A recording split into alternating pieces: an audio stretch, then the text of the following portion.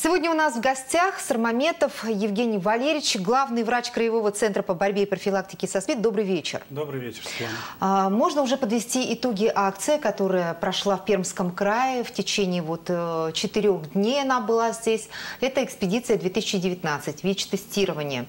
Итак, э, в каких городах это было, сколько людей пришло, сколько ВИЧ положительных было выявлено? То есть вот какие-то цифры, которые нам очертят круг проблем. Пять городов. Город Пермь, это север Пермского края, Соликамск и Березники, угу. центр Кунгур и юг Чайковский. То есть пять городов, где проходилась вот эта акция. Обследовалось у нас более 700 человек в Пермском это, крае. Это считается хорошо? Это неплохо. Так. Это хорошая посещаемость. У нас наши лаборанты работали без перерыва. Угу. То есть только успевали желающих тестировать. А вот для сравнения с другими городами, как, э, вот э, там как активность ну, была? Ну вот, допустим, Свердловская область, город Екатеринбург, ага. да, это наши как бы земляки, где численность населения практически в два раза больше, чем у нас угу. в Пермском крае, они протестировали практически столько же, сколько у нас. То есть, если так вот перевести это на интенсивный язык, э, цифры угу, на угу. интенсивных, то получится, что у нас активность населения в два раза больше, чем у наших соседей. Ну, активность – это один показатель, а показатель выявляемости ВИЧ-инфекции – это показатель другой. Так вот, что с ним? Объективно, да. Вот из этих 742 человек, которые прошли тестирование, мы обнаружили положительные тесты у 21 пермяка. Много это или мало? Это, если пересчитать на процент, то так. получится примерно 2,9. То есть из 100 человек, 2 человека с положительными... Почти 3 получается. Практически 3, да человека с положительными результатами. Это как бы много, потому угу. что в среднем по краю, когда мы проводим тестирование, он составляет 0,6%. То есть это вот как бы в популяции 0,66 да. это в среднем, в среднем да? Здесь да. гораздо выше. Здесь Но может быть выше. это означает, что люди, которые сомневались в себе, пришли, или как? Ну, по вашим наблюдениям. По нашим наблюдениям, когда мы полностью проанализировали, кто это было, там многие не скрывали, то есть угу. это было практически не анонимное тестирование. Хотя анонимно можно было. Да, анонимно можно было. Оказалось, что половина вот из этих 21, а если точнее быть 11 человек, это те, кто уже знал о своем диагнозе. То есть это люди специально пошли перепровериться, посмотреть, а вдруг ВИЧ а, то есть, а вдруг прошла. ошиблись, да? Вдруг, а вдруг ошиблись. ошиблись, да. Вдруг у меня ВИЧ-инфекция уже прошла. Угу. И вот только 10 человек, у кого ВИЧ-инфекция была выявлена впервые. Кто? реально не знал о своем диагнозе. А таких, получается, у нас полтора процента. Это угу. все равно выше, все чем равно. в среднем по популяции. Причем где-то в два раза примерно, да, да? и мы вот для себя как бы с психологами разговаривали и говорили, что это может быть, почему при экспресс-акциях выявляемость выше. Скорее всего, на эту экспресс-акцию идут люди, которые как бы внутренне сомневались что у них были какие-то рисковые или контакты, или какие-то угу. рисковые случаи, и они внутренне понимали это, шли на это, и поэтому выявляемость вот в данном случае выше, это как бы все равно хороший показатель. Угу. А, что касается реакции людей, понятно, что она очень разная от э, шока, да, а, а, там человек может в прострацию впасть и так далее, а, до полного неприятия. Что здесь? Действительно, объявление вот этого диагноза – это как бы очень серьезный психологический такой момент, поэтому всегда дежурят врачи и психологи, которые готовы. Я не буду говорить по этой акции, но могу сказать, что были людей можно разделить на две группы. Кто внутренне готов к диагнозу уже, он понимает, он знает, да, подозревает. И те, кто реально просто был для кого то шок люди реагируют по-разному. Кто-то пытается просто покинуть место тестирования. Там, То маш... пережить эту информацию где-то в другом месте, Одному, не здесь, да? да, чтобы никого не видеть. Там приходится там даже вот идти за человеком, пытаться его убедить вернуться, что на этом жизнь заканчивается и тому подобное. Бывали и такие, кого мы, в принципе, не могли остановить. Угу, То есть угу. человек просто психологически это отторгал и угу. уходил с диагнозом анонимным, и мы не знаем, куда вот он уходил, потому что мы как бы не следственные мероприятия проводим. То есть наша-то задача все равно человека остановить, человеку рассказать и оказать ему квалифицированной То есть не то, что его помощь. внести в какой-то реестр э, ВИЧ-инфицированных, а донести до него ту информацию, как теперь ему нужно жить, действовать, какую терапию Конечно. принимать. Вот теперь давайте о терапии. А, Во-первых, э, насколько дорога или бесплатна эта терапия для людей, у которых выявлено ВИЧ? Первое. Второе. Насколько важно лечиться? Или действительно, вот как вы сказали, а вдруг прошло? Насколько дорога эта терапия? Она дорога для государства, потому что все препараты закупаются государством. А пациент ВИЧ-инфицированный получает их абсолютно бесплатно. Неважно, работает он, не, Не работает, важно. пенсионер, не пенсионер, Конечно. неважно. Неважно. Средняя стоимость терапии по Пермскому краю составляет около 35 тысяч рублей в год. Средняя.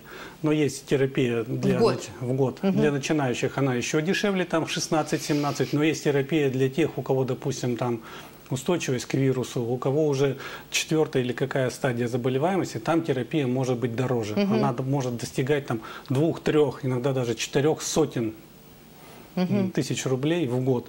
Но в среднем она составляет где-то 35 тысяч. Если человек э, принимает терапию, ну, то есть все как положено, а, насколько а, быстро у него продвигается развитие заболевания? Если не принимает. Если принимает, Если принимает терапию, если терапия подобрана правильно, Мгм, адекватная, да? адекватно, да? у него в течение двух-трех месяцев идет снижение вирусной нагрузки. Цель терапии добиться неопределяемого уровня, условно, когда в крови вируса нет, он То подавлен. есть когда его не видно. Да, подавлен. На этом фоне у него повышается иммунитет, так называемый там CD-клетки 4, да? И после этого человек становится, ну, условно говоря, не опасен для общества и потенциально как бы здоровым человеком. Да, вирус у него в крови находится, он в подавленном состоянии, но человек может работать, жить, иметь И детей. чувствовать себя и хорошо. чувствовать себя хорошо. Абсолютно И быть правильно. не, э, не опасным и для своих Конечно. половых партнеров в том числе. В том числе, да. То есть, э, насколько я знаю, что человек, который э, принимает терапию, если она правильно подобрана, то он даже без барьерной контрацепции может продолжать половую жизнь со своим партнером. В принципе, да, риск сводится практически к нулю. Ну и отсюда, естественно, есть возможность появления здорового потомства. Да, у нас много пар, где даже муж и жена положительные и имеют здоровых детей. Это мы сказали о тех, кто принимает терапию, а для так называемых диссидентов, э, вот как у них развивается история эта? У них Для история... тех, кто отказывается от терапии, отказывается принять диагноз, никто насильно его закалывать не будет. Конечно, каждый человек сам определяет, что ему делать. Ну, в данном случае остается только пожалеть таких дет- э, людей. Почему? Потому что рано или поздно они все равно придут в специализированную организацию. Потому что Тут, состоя- мне кажется, главное слово «поздно». поздно, да, состояние здоровья все равно сделает такие шаги, когда он будет чувствовать себя неудовлетворительно. И ему придется обращаться за медицинской помощью. Если это принимает взрослый человек для себя, решает, я не буду, я не больной, я здоровый, я что хочу, то и делаю. Это одно. Другое дело, когда у таких людей дети ВИЧ-инфицированы, и они вот это свое видение вот этой проблемы накладывают и на детей. И ребенок также, получается, не принимает эту терапию, а у него это продвигается гораздо быстрее и активнее. Вот с этим, конечно, проблема, и мы с этим занимаемся и боремся. А сколько на сегодняшний день в Пермском крае а, несовершеннолетних э, страдают ВИЧ-инфекцией? На сегодня до 14 лет у нас порядка 250-260 детей, у кого диагностирована ВИЧ-инфекция.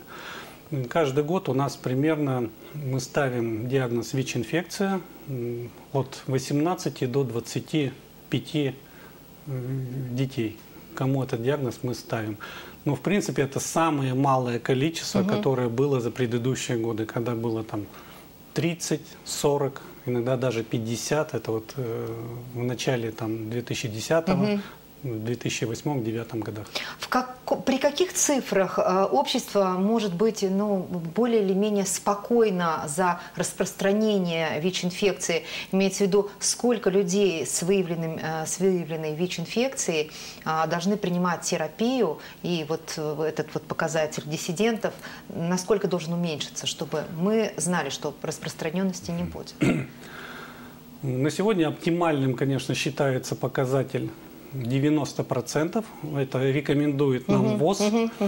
И эту стратегию Всемирная организация здравоохранения приняла и Министерство здравоохранения Российской Федерации. Она на несколько лет расписала вот эту стратегию. Угу. То есть каждым годом охват все больше, больше угу. и больше. Допустим, на конец 2018 года должно было получать терапию 60%. 60%. Так. В Пермском крае получало 62% на конец 2019 года так. у нас должно быть 65%. У нас уже на сегодня 67-68%. То есть мы идем немножко с опережением, чем нам рекомендует даже государственная стратегия. Я думаю, такими темпами мы, в принципе, там года через два, через три подойдем к тому уровню, который нам рекомендует ВОЗ. И, в принципе, тогда сможем стабилизировать и добиться устойчивого снижения заболеваемости ВИЧ-инфекцией. А на сегодняшний день вот при увеличении вот этого процента, о котором вы сказали, там 62, 67, mm. ну до 90 все-таки еще далеко, есть ли э, какая-то кривая снижения или все-таки пока есть. нет? Я говорю об этом осторожно, да, боюсь сглазить. но в 2018 году у нас небольшое, но снижение уже пошло, это там угу. 4,6%. И это снижение, к нашей радости, оно и продолжается в 2019 году. За полгода у нас снижение практически на 8,5-8,7% по сравнению с 2018 годом. То есть это хорошая такая тенденция, и мы как бы осторожно говорим, что, возможно, мы прошли или проходим вот угу, эту горку, угу эпидемии, распространения ВИЧ-инфекции в Пермском крае. Ну, что называется, очень хорошо, пусть так оно и будет, но тем не менее, а, акция «Экспедиция 2019» благополучно уехала в Ижевск. В Ижевск, да? В Ижевск, угу. да. А дальше Киров, потом Киров. Москва. То есть до ноября еще проедет несколько городов, но тем не менее люди, которые, может быть, сегодня сидят у своих экранов и у которых есть сомнения в своем ВИЧ-статусе и которые не попали на экспресс-тестирование, что можно сделать им? Самое простое – это пройти тестирование по месту жительства. Угу. То есть в любую поликлинику бесплатно вы пройдете тестирование, вы получите результат. Но это все-таки ты должен прийти и сказать, что я Иванов Иван Иванович. Нет. Нет? Нет. Не обязательно. Человек может пройти анонимно. Угу. Разница только в чем. Если вы приходите условно по документу, да, то вы получаете официальный угу. результат, угу. который можете там показать. Где-то предъявить, Предъявить, да? да, и никаких Если вы проходите анонимно для себя, вы можете назваться кем хотите. Хоть номером, да? Хоть угу. номером. И получите результат за этим номером, который будет То есть только для себя, Для да? себя, угу. конечно. Но пройти это, мне кажется, надо. Если вы понимаете, что что-то вас там было за плечами, там так называемый скелет в шкафу, угу. да, какой-то, Евгений Валерьевич, о, о скелетах. Э, очень часто люди говорят, ну почему я должен себе сомневаться? Я никогда в жизни не принимал наркотиков э, с инъекциями на «вы», то есть э, только одноразовые шприцы и только в поликлиниках. Почему я должен в себе сомневаться? Какой сегодня путь передачи этой инфекции вышел на первое место? Да, Светлана, совершенно правильно вы это заметили. Раньше человек как бы дистанцировался от угу. ВИЧ-инфекции только тем, что я не подхожу к группе риска. Не принимаю наркотики, не вхожу там в сексуальное меньшинство, не веду там такой-то, такой-то образ жизни. И этого было достаточно. Угу. Ну, на сегодня ВИЧ-инфекция распространяется обыкновенным половым путем. Причем не обязательно. Если раньше были, условно говоря, наркопотребители заражались, потом они стали заражать половым путем своих половых партнеров – до 60, угу. то теперь уже вот эти половые партнеры начинают заражать. То есть это как бы вторая волна, то есть да, вообще людей, да. которые никоим образом не сталкивались Конечно. с наркотиками. И вы, и вы понимаете, что вы, как будто бы вы не имели никакого отношения угу. и контактов с наркоманами и с наркопотребителями, но в то же время был половой контакт, шанс, то, что вы можете заразиться, есть. Поэтому если вы это знак. молодые люди? Это... Не обязательно. Нет? Не обязательно. Средний возраст какой? Сейчас уже 35-36 лет. Но То мы... есть вполне таки себе зрелый и разумный возраст? Конечно, это трудоспособный возраст, молодые, активные люди с семьей, с детьми, там, со средним образованием, работающие наполовину. Угу. То есть это те, которые вот составляют как бы основу большинство, большинство, большинство нашего, общества, нашего да. общества, да, и вот среди них на сегодня как бы регистрируется вот повышенный уровень вот этой заболеваемости. Если есть хоть какие-то сомнения в своем ВИЧ-статусе, совершенно спокойно можно сходить Конечно. либо в поликлинику по месту жительства, либо прийти в спеццентр к вам на То Свиязево. Самое, хоть анонимно, и, хоть так пройти. И совершенно спокойно жить дальше, э, зная свой э, ВИЧ-статус. Если ты отрицательный, то хорошо, если положительный, то тут совсем другие, другая история. Спасибо вам большое. Надеюсь, что информацию важную для многих из нас